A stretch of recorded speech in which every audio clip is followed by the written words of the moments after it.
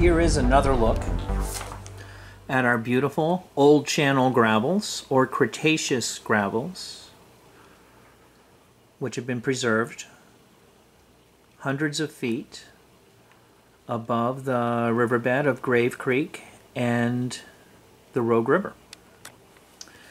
Now, look what happens when we introduce some pyroclastic material into this valley.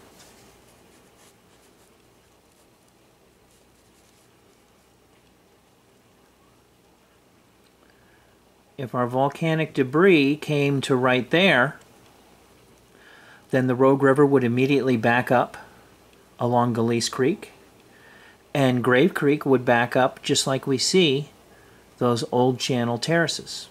And we might have repeated episodes of volcanic interference, and then the river takes its time to wash it away. Meanwhile, all the time the gravel is accumulating in those areas where we see the old channel gravels.